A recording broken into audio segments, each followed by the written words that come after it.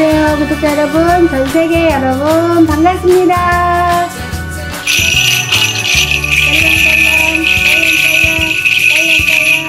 여기는 포천 감사합니다. 오늘은 제가 어, 돈복이 많은 세트를 한번 선택해 봤습니다. 아, 제가 지금 세트를 이렇게 한 거는 뭐냐면요.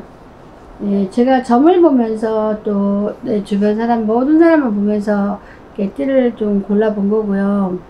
말띠, 닭띠, 호랑이띠. 말띠가 대부분 돈이 많아요.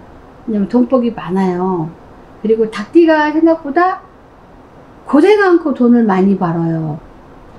말띠가. 아니, 저기, 호라, 닭띠가.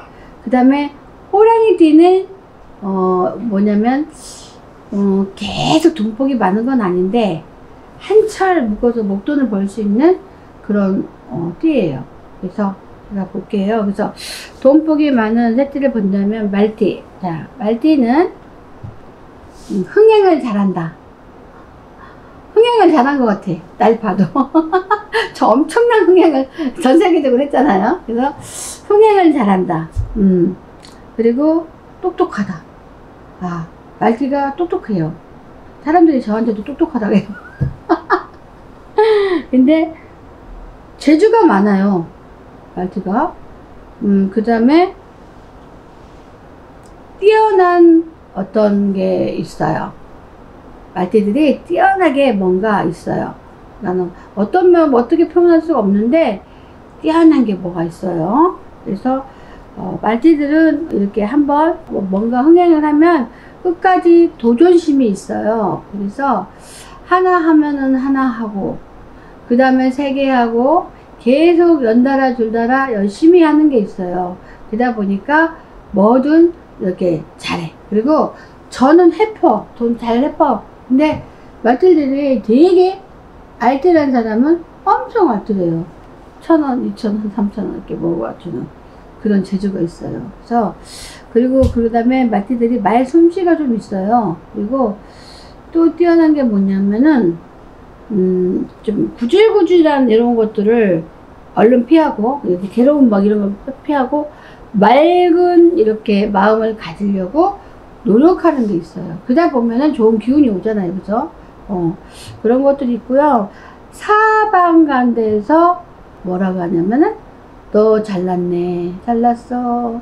어, 이런 식으로 있잖아요.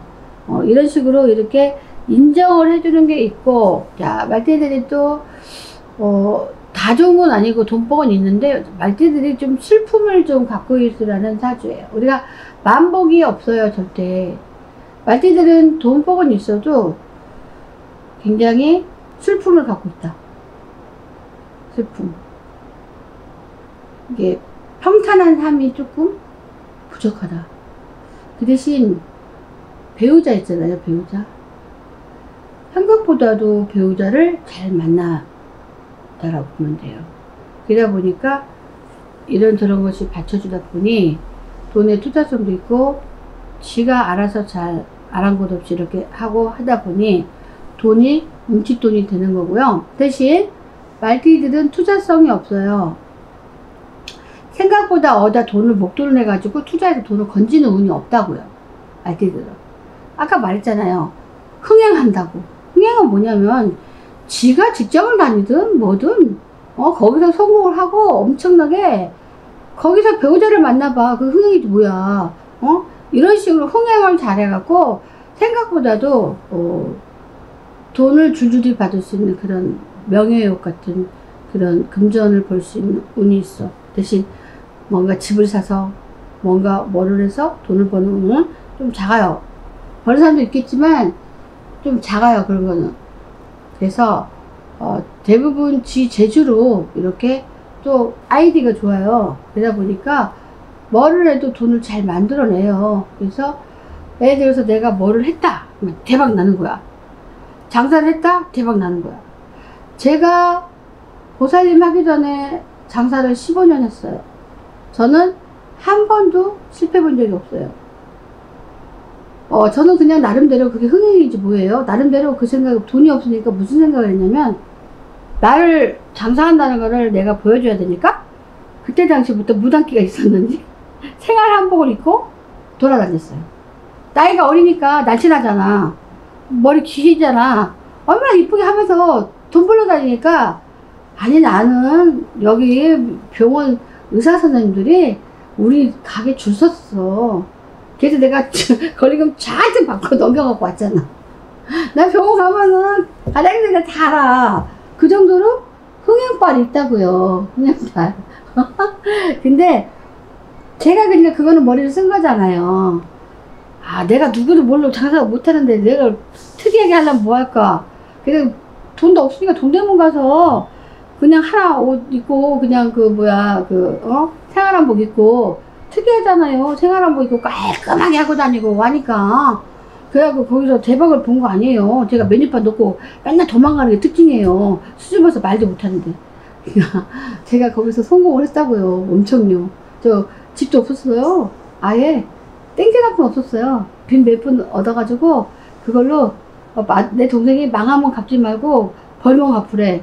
그래서 안 한다고 했더니 그것도 못하니 바보같이. 그래서 내가 이거를 벌라고 하니까 다 죽어가는 가게를 사가지고 내가 그 생활한복을 딱 하나 사 입었어요. 제가 어, 그때만 해도 좀 이뻤거든요. 그러니까 이미지라는 게 있잖아요. 아, 내가 잘난 게 보이냐. 이 이미지를 하나 살리자. 그래서 남들이 안 듣는 생활한복을 쫙 입고 머리가 길었잖아요. 쫙 묶고 이렇게 가니까 아니 의사 선생님들이 있잖아 천연기념물이 장사한대 나더러 왜 말도 못하니 와서 말도 못하는데 장사했다면 믿겠냐고요 안 믿겠죠? 왜 천연기념물이 장사한다 그래서 의사들이 그냥 인천 의사 여기 부천 의사들이 다 몰려와가지고 제가 거기서 집을 샀습니다. 믿어져요? 안 믿어져요? 어. 그런 게 필요하다면 나한테 물어봐 에, 원래 말띠들이 그 성향을 잘한다니까요. 아무것도 아니잖아요. 그리고 뭐 제가 그 칵테일을 좀 팔아봤거든요. 커피숍 하면서. 근데 칵테일 못 만들잖아요. 그럼 폼을 좀 잡아야 되잖아. 그럼 백화점 가서 책을 사다가 그거를 보고 아 그 앞에서 그냥 폼 잡고 흔들기만 하는 거야. 그러면 걔네들이 손님들이 다 달래. 한 잔에 5천 원, 7천 원. 얼마나 돈을 많이 벌었겠냐고. 아니 근데 사람들은 꼭 그래. 꼭 격식을 오려고. 꼭 어디 가면 뭐를 따야 된다고 그러고 자격증 따야 된다 그러잖아요. 저는 그런 거 안 땄어요. 그냥 백화점 가서 책 사갖고요.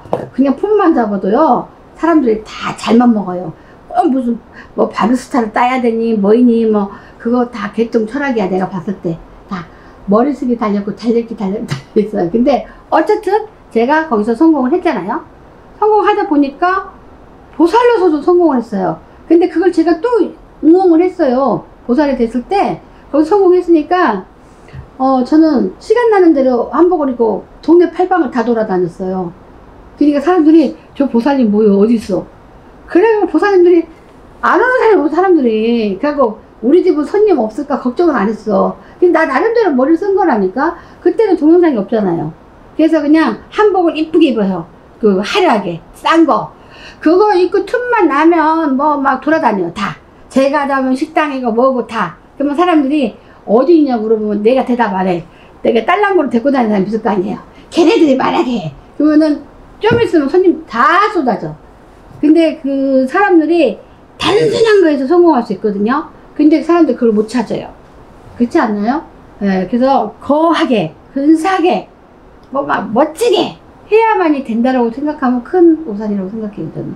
그래서 여러분 말띠들이 보면은 흥행을 잘하고 특별히 아이디가 있고 하다 보니 돈을 벌어. 근데 제가 주변을 다 봐도 똑같아요. 근데 또 닭띠들을 제가 보면요. 닭띠들은 일 고생을 안 합니다. 근데 닭띠도 나름이죠. 허, 개똥 철학 갖고 힘들게 사는 사람은 닭띠들은 거지입니다, 지금. 어? 남자나 잘 만나야 되는데 남자도 못 만납니다. 그쵸? 근데 평균적으로 보면은 닭띠들이 돈이 많습니다. 이 사람들은 어떤 사람이냐면 끊임없이 노력하는 게 있어요. 닭띠들이 보면은 그리고 굉장히 머리가 영리하고요. 어, 우리들이 생각 못하는 거를 닭띠들도 해냅니다. 그래서 이렇게 정말 생각보다도 잘해요. 그래서 이 금전 철학도 아주 좋아요. 닭띠들은 우리들하고 또 틀려. 우리들은 막 펑펑 쓸 때 쓰고 그러잖아요. 근데 닭띠들은요, 어쩌면 저렇게도 금전 관리를 저렇게도 잘할까? 어쩜 저렇게도 짤까? 어, 저- 근데 보면은 돈이 생각보다 되게 많아요. 정말 보면은. 그러면은 다 정신이 달라. 다르다고. 옷한 가지를 막 생각보다 생각 없이 안 입어. 어? 근데도 옷이 되게 많아 보여. 그죠? 그리고 진짜 주변에 사람이 되게 많아. 닭띠들이 생각보다도 사람을 많이 따르게 하는 게 있어요. 그것이 요즘에 우리는 돈이 다 사람의 돈입니다. 아니, 나도 누가, 누구를 소개가 됐고 면 벌써 10만 원? 근데 그거 체면만 생각하니라고 안 하는 사람 있어요. 그죠? 저는 요즘에는 안 합니다. 왜냐면 이제, 이제 나이가 노화가 돼가지고 체력이 딸려요. 그래서 그냥 전에는 하면은 좋죠. 그죠? 근데 사실 모든 거는요, 이렇게 여기저기 길을 열어놔야 돼요. 어느 딱 하나만 보면 안 되고, 돈이 들어올 구멍을 다 열어놔야 된다고, 여기저기. 모두 다 돈이야. 나하고 친한 사람도 돈이고, 모두 돈. 어? 그죠? 근데, 그거를 못하는 닭들도 있잖아요. 그쵸? 성향을 바꾸셔야 하고, 닭들은 원래 태어날 때부터 신의 가물이 이게 세기 때문에, 마음만 잘 먹으면 돈을 잘 이렇게 뭉치를 가질 수가 있어요. 근데, 이 뭐가 있냐면은, 닭띠들이 또 지꺼만 알고 막 이렇게 막 이렇게 하는 사람들도 있어요. 그럼 이런 사람들은 돈을 줬다가도 놔버리는 거야. 그죠? 근데 평균적에서 하늘에서 이들은 자, 포도송이처럼 돈을 줬어요. 그러면 내가 그 돈을 포도송이를 어떻게 해야 돼? 내가 다 따먹어야 돼. 열매를 또 열게 해야 돼. 그쵸? 이 닭띠들이 이 포도송이를 한 송이 주면은 여기서 또 열매를 열게 해야 됩니다. 근데 열게 하지를 못하고 어? 지 한 입 따먹고 그냥 치다만 보는 거야. 이래서 부자가 안 된다고. 그쵸? 그래서 약간 닭띠들이 그런 게 있어. 왜냐면 자기를 오픈 다 안 해. 어?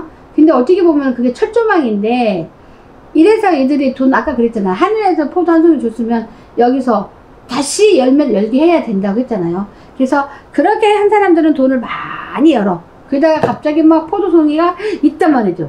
그러면은 부자로 살겠죠. 어? 닭띠들이 그런 운이 있으니 지금도 늦지 않았으니 열심히 한번 보세요. 그 다음에 자 호랑이띠를 한번 보겠습니다. 호랑이띠가요 못 배우고 못 갖고 다 이따 저따 할 필요 없어. 어?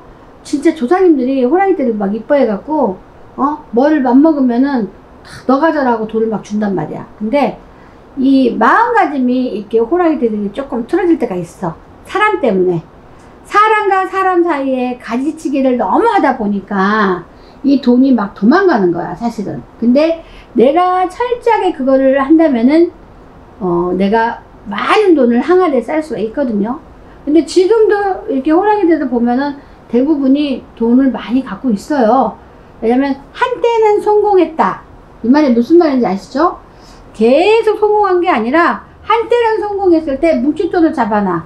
이 뭉칫돈으로 큰 돈을 막 만드는 거야. 어? 그래서 우리가 어 되게 이렇게 호랑이들이 좀 이기적인 게 좀 있어요. 되게 나만 알고. 어? 그러나 그런 걸 조금만 더 이렇게 어 좀 이렇게 버려버리고 호랑이들은 조상님만 조금 대우를 좀 많이 해주고 그러면 내가 그래도 큰 돈을 벌어서 노후에 걱정할 것이 없다라는 생각이 들고요. 자, 호랑이들이 보면은 굉장히 잔여른 가슴이 많아요. 그래서 이 잔여른 가슴을 뭘로 채우냐?